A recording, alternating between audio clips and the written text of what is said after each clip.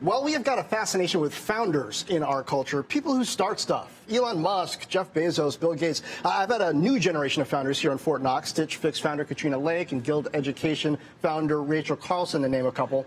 This week, we're going to dig into what successful founders do right and what we can all learn from them. Basically, hey, the, the, way I look at it, even if you're not starting the next Apple, chances are pretty good that a lot of us have started something or will before too long. Maybe it's a small business a major project on your job. Welcome to Fortt Knox. I'm CNBC's Jon Fortt at the NASDAQ market site overlooking New York's Times Square. My guests, CNBC wealth editor Robert Frank, who has chronicled the ways of successful entrepreneurs for many years now, and the irrepressible Scott Galloway, professor at NYU's Stern School of Business, author of New York Times bestseller The Four, which examines the animating ideas behind Apple, Google, Facebook, and Amazon. And I hear you've got a new podcast that's yeah. uh, due out before long. Yeah, thanks for bringing it up. I'm co-hosting with Kara Swisher on the Vox Network, a podcast called Pivot. Although I wanted to call it Stable Genius, but it got overruled. that might have been false advertising. yeah, you? That's true. You too. On both counts. I mean, no, uh, just one count. Uh, you're also you started some stuff. Yeah, started a bunch of companies, and I think we have a tendency to romanticize entrepreneurs. I would argue the majority of entrepreneurs, it's a defense mechanism. I learned early after a stint at Morgan Stanley that I just couldn't thrive and succeed in the corporate world. So for me, entrepreneurship was a defense mechanism. But talking about entrepreneurs, you know, grit, excellence, hold their people accountable. But I think more than anything in an information age, they have got to be great storytellers to attract cheap capital that gives them the ability to make mistakes, get traction. If you look at the people, all the names you talked about, you listen to them speak and you just want to buy stock. And speaking of storytelling, this week on Fortt Knox, for the one on one, I've also got Maynard Webb. He's a former board chairman at Yahoo, former CEO of LiveOps, chief operating officer at eBay, board member at Visa and Salesforce, and he just wrote a book, Dear Founder, which is structured as advice, just, hey, on all kinds of little issues from setting up the company to dealing with people to when the board wants to can you uh, issues that apparently founders have to deal with. Robert, now, Robert, you um, are our go-to guy on success, mm-hmm. successful people. You're the wealth editor. You've looked not just at how much money these folks have, but also right. what got them there. So sometimes it seems like overnight success for people. Yeah. Like the, the first yeah. thing they start works. Right. Is that usually the case, or no, is there the, some the, characteristic of stick-to-itiveness? Yeah, there, there's definitely a lot of the entrepreneurs I've talked to said I was an overnight success after 20 years. um, and so uh, I would agree with Scott that storytelling is really important and how to deal with people is important. I have three things that I've discovered are really important, and they are not the usual things that people say, which is hard work, focus, and find your passion. That's what they say. None of those really are true. As far as I are they I, false I, or are they just not the main things? They're not the main things. Okay. So the main things, the first is ignorance, right? Yeah. So the guys who come into a market, and the reason that Jeff Bezos reinvented retailing is because he didn't start out at Macy's. Hmm. The reason that uh, Elon Musk has reinvented cars is because he didn't start at GM. So all these guys tell me the best thing they brought to reinventing their industry and starting a brand new disruptor was they didn't know what couldn't be done in that industry. So ignorance is number one. Yeah, too stupid to know you're going to fail. Exactly. Yeah. And, and again, not knowing well, but there's that problem and this. So you really have to rethink an industry, and the best way to do that is to not know anything about it. Hmm. The second thing is just almost an obsessive personality that, that when you have an idea and you see the vision for that idea, everyone will tell you that it's the wrong idea. Everyone in the beginning will say, that can't work, that won't work, that's stupid. If they tell you the opposite, you know it's not going to be a winning idea. The, because the, the best ideas, whether it's Fred Smith at FedEx or Elon Musk, because again, to, to really make it, you have to be the guy that changes an entire industry. Hmm. And so that ability to, uh, you know, uh, Scott mentioned grit, that's part of it, but almost, I mean, these guys are almost obsessive compulsive personalities. When they get onto something, they just can't let it go to the to the sacrifice of their health, their families, everything on earth. They are going to stick to that idea, whether it succeeds or fails. Huh. Um, and, and, then, you know, the last thing I think is. Um, I was waiting on the last thing. the last thing I think is just a lot of these people, everything they look at, they, they try to figure out how you could do it differently. So, you know, you sit down with these guys and you'll start talking about, you know, our business, and they'll start saying, well, what if you did that? What if you did? So everything, whether it's a coffee cup or whether it's whatever you're doing, they are always looking for a different way to do it or to see it. And th- there are just some people that are, are naturally like that. They're like, how else could you do this? Scott Galloway, t- tell us the story of Red Envelope because I uh, knew of the company before I knew you. Yep. Um, and I, how, how did that come about? I mean, I take it you never worked for Hallmark. No, a lot of what you said is true. If, if, if the business made perfect sense when it was started, it would already be there. Someone else would already be doing it. So it was the 90s. I've always thought that, uh, you know, any success that I've registered has been a function of luck and geography. And I came at professional age in the best zip code in the world, where there was more wealth created within a seven-mile radius of SFO in the 90s than to that point all of Europe since World War II. And I started a consulting firm, was, was consulting to e-commerce and retailers, and got intoxicated with the internet. Had a shaved head, a good rap, could raise a lot of money in, in the 90s, and started an e-commerce company. And it was, I've never had a business plan. I thought, okay, the internet. I went to a conference with John Doerr. He said the internet's all about saving time. The only people on the internet at that time was dudes. Right? Dudes save time, gifts, a database that matches people, occasion with the right gift. Went out, raised about 60 or 80 million dollars in launch Red Envelope. And I thought there was an opportunity to be. I'm a big fan of benchmarks. To be the more urban, hipper, more, if you will, kind of erotic version of Tiffany. So lower price point, more aggressive, more aggressive sort of urban, uh, I don't want to call it sexual, but provocative advertising, and be be the urban version, uh, the younger version of Tiffany, and do it online. And because we chose the internet as a channel, we could go raise a lot of capital. And so were you right? Uh, for a while. Um, it was a great experience. Some people made some money, but in the end, when the credit crisis hit in 2008, I also think Amazon was out there. The cost of keywords, the cost for bidding on Mother's Day gift when we launched was X. Within eight years, it was 8X because of all the other players with cheaper capital coming in. Ultimately, the company went through a reorganization, was sold to Liberty Media. Um, I, this was one of those companies, a longer story. I think the board screwed up this company. I was both. I was an angry founder. I was literally the kind of the, the cliche of an angry, destructive founder. Our venture capitalists were um, uh, awful at retail, yet vindictive. I mean, it just it was like it was the perfect storm of bad things. So no, it didn't. It didn't end well. Well, and, that, and that's another good point. You know, you look at someone like Fred Smith, who was a founder and one of the great operating CEOs. And then you look at Uber and Travis, and you, you know, to Scott's point, he was an angry founder.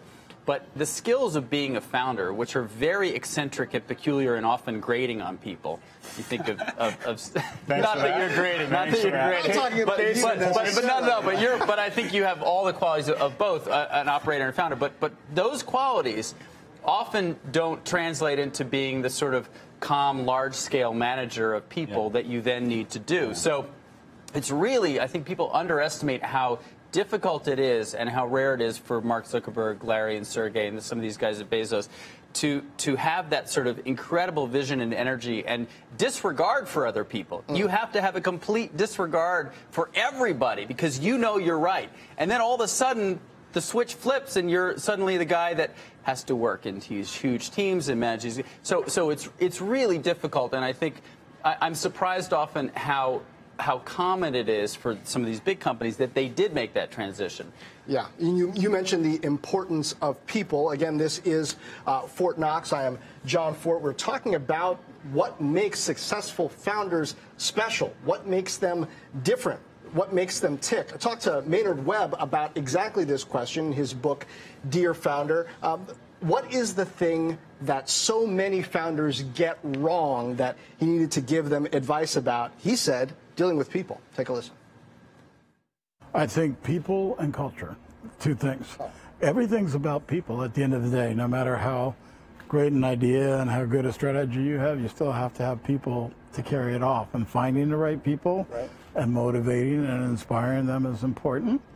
And then on the culture side, I think you either, you have a culture whether you know it or not. Scott, did you think about culture much when you were? Not as a young man, and it's it's an interesting thing that I would say the area I've tried to develop most is I think the key to successful leadership in corporate America, or really in any environment, is empathy, and that is to Maynard's um, point. And empathy doesn't mean being nice. No, it, it means it means putting yourself in the shoes. So the team of the best players wins. So your ability to get cheap capital and also attract and retain the best employees is central. Greatness is achieved in the agency of others. Full stop.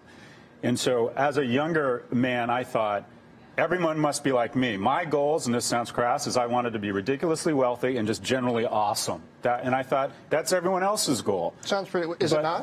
what, what you find is individuals and companies are individuals, and they have different priorities. Some are willing to work nights and on weekends, but need to be at Little League. Some people want to manage others. Some people want to develop a profile and be in the media a lot. And your ability as a leader to say, I'm going to figure this out, John. I'm going to figure out what's important to you. I'm going to put myself in your shoes. And even if those things aren't important to me, I'm going to work with you to make you win. And having a sense, a real sense of believable empathy for people. I, I, think that's true often. I'm, I'm amazed, having read the Bezos biography and, of course, the Steve Jobs biography before that, how successful they were without Without that. Without that, yeah. and and and I think you know, I mean, it's, you read about some of the meetings that Bezos has, and you know, he's he's com- very blunt about it. Sorry, I didn't take my stupid pill today. I didn't get what you just said. I mean, it, it's just shooting people down, and yet here he is. So so I think. And that's know, what I meant by it doesn't mean being nice, because at the same time, he and Amazon have this reputation for caring intensely about what the customer wants. Yeah, that's so right. maybe even if it's not empathy for Yeah. the people he's working with, That's right. He can create this culture around empathy for the customer. Yeah, and maybe that's a I'm great rude point. to you, but we both care about really serving that customer and figuring out, even through tiny signals, what they really care about. Yeah, that's a great point. I think it's right. Less about empathy, more the ability to imagine what the customer wants. And, and that's what Bezos has been great. There's another thing, maybe a fourth thing. How often do you sleep? How many hours a night do you sleep? Yeah, I'm not one of these guys that sleeps four hours. Okay, I'm a night person. I sleep kind of one to eight, so I get a solid seven, which is, Okay. I mean, you know, I'm I, I, I'm 85, and it's because I sleep a lot. I mean, look at me, guys. No, I'm not, I'm not one of these people that doesn't need sleep. But need but sleep. is amazing how many of the founders I talk to, and, and some of it just they there's this urgency of there's not much time in this world. I have so much I plan want to get done. I Didn't Bezos just say he sleeps like seven hours a He, night? he though? does too, and it Yeah. was surprising because a lot of the guys I talk to, it's just it's three to four hours, and and you just think about that's an extra three to four hours a day that you can, and and they function. I don't know how, but but they do, and you think about over your lifetime how much productivity you can get with the three or four extra hours Or a how day. many tweets you can send that Yes. maybe in Yes, retrospect. exactly. Maybe you should get more Exactly.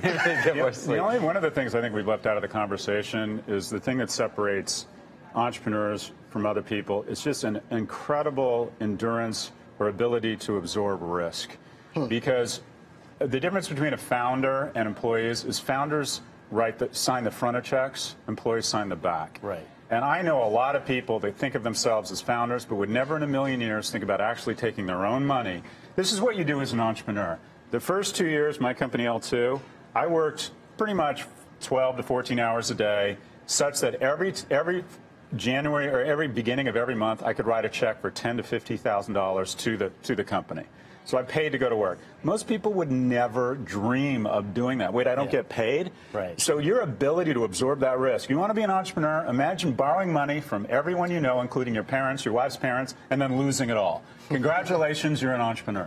Robert, uh, there are different ways that different types of founders and entrepreneurs rationalize that risk, Yeah. I guess. Mark Zuckerberg grew up uh, upper middle class in, um, I I guess, north of New York. His Right. dad was a dentist. You know, risk, I guess, meant something different to him. It meant dropping out of Harvard, Right. but probably there was a safety net there. Right. Uh, Steve Jobs, different profile. Yeah. Um, Katrina Lake, different profile. Uh, how how much do the circumstances in which uh, an entrepreneur uh, grows up or finds themselves factor into you think their appetite for risk? Yeah, less than we think. And I think the, the key to risk, and I agree with Scott that that there has to be the sense that everything I have is going into this company, and I'm not I'm not seeking a paycheck immediately. But where that where you and I would see risk in in the, in a sense of maybe gamblers, where I'm going to take a bet on this, they don't see risk at all. To them, there is no risk because they so clearly see the future of their business and the potential for that market. And sometimes they're wrong. We never hear about all the failures, the, the, the eight out of 10 failures that don't become billionaires. But they, to them, it's not a risk because to them, they, they see it so clearly and the execution of that is so cut and dry that it's just a matter of, of getting through the first period where you're profitable and you can start paying people. So I don't see they, they see it as I could lose everything, uh, but I'm just going to, you know, put the, put the ball in the roulette and spin the wheel. But what It's- about the ones who have basically lost everything already?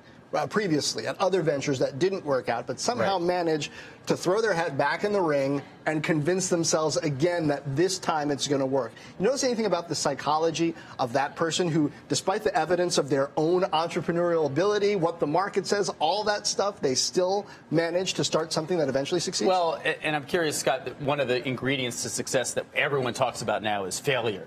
You know, if this guy has failed three times, he's fantastic because he's learned those lessons that, that, I mean, do you agree with that? And, and what is it about those people that can, continues to re up? Or do they, do they say, maybe it's me, maybe I shouldn't be? Yeah, it's a bit of an exaggeration Yeah. because I think in America, I don't think we, they, they say we embrace failure. We don't embrace failure. We tolerate it. Hmm. And I think success in, in your private, in your in your core professional life, and also in your personal life, is a function of your resilience. Everyone faces failure. Everyone gets fired. Everyone loses people they love. Everyone faces injustice at some point in the corporate world. And your ability to mourn and then move on is a key ingredient to success. I've started nine companies. I think I'm generously three, four, and two. And I've been beamed in the face. The company you talk about, Red Envelope, I mm-hmm. was kicked off the board. Of the, you know, I was kicked out of the band I started.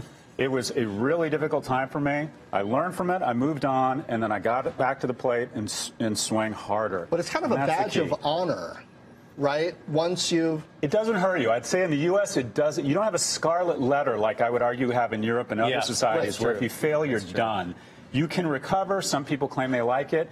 It's a bit of a an exaggeration to say Americans we embrace failure as long as it's on the way to success and there's indications you're going to be successful. Right, that's successful. true. But it's that great graph, and you showed it out. People, this is what people think success looks like. This is what success looks like. Right? Scott, how much of it is being able to uh, kind of snatch, in a way, victory from the jaws of defeat, or, or create little victories, even when overall you didn't cross the finish line that people expected you to cross? You're able to say, okay, well, maybe it didn't work out uh, overall, but I learned this, and I can use this in this way, and this really worked well. And so if I get back out there and I do this, this, and this, but not that, I can succeed next time. Being able to convince yourself that there was success in there somewhere.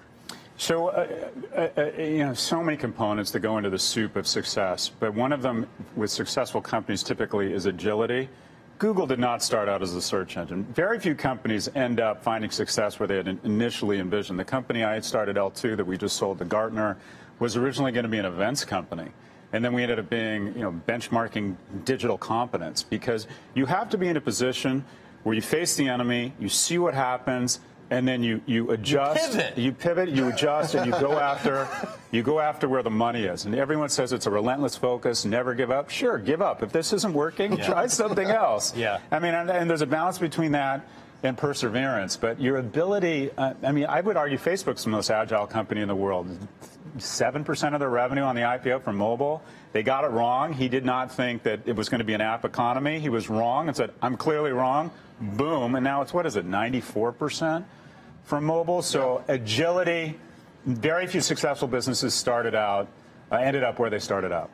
Robert, um, w- when you look at the outside of money and being awesome, the things that animate uh, and, and motivate founders, how much of it is the impact they want to have in the world? Marc Benioff, founder of Salesforce, has just bought Time Magazine. Right. Uh, he built in the structure into Salesforce at its founding, where a certain percentage uh, of, of their profit was going to end up going to um, to charity.